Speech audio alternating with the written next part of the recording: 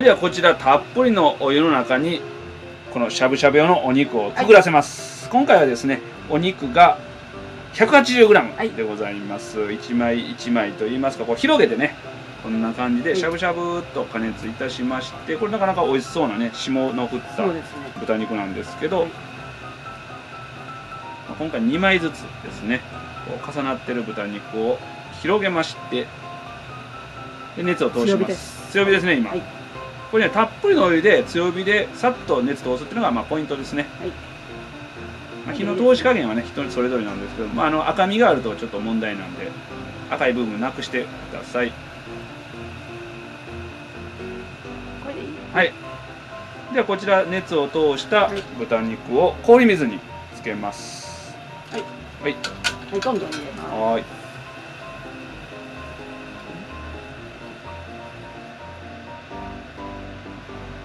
いいですね。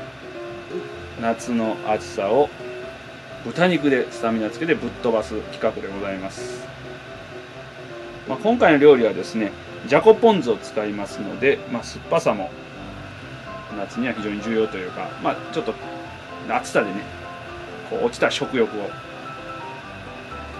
ちょっとこれ引き上げるよ。あでこんな感じでですね氷水で冷やした豚肉をはい。ざるに上げておいてください、はい第2弾もね、まあ、これねここのポイントはですね必ずお湯が沸騰している状態ではい。しゃぶしゃぶ用の豚肉を入れるということですね。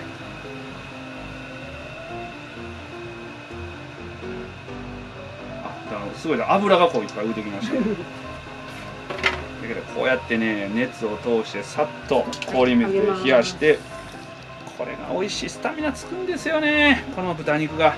最高ですね。しゃぶしゃぶ用の豚肉 180g を。ただいま絶賛加熱中でございます。しゃぶしゃぶ中です。豚肉でございます、豚肉もはいちぎって入れてください。この豚肉ねあの事前にあの冷蔵庫で冷やしておきました、はい。やっぱりサラダなんでね冷えた方が美味しいということでね、まあ、それと夏なんであのちょっと腐りやすいということもありまして豚肉は冷やしておきました。いいですね。これ玉ねぎとレタスと豚肉とねこれは絶対美味しいですよねこれ。最高ですね。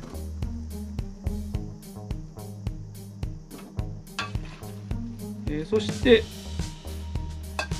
ポン酢とはい。ごま油が全体に行き渡るように混ぜます、はい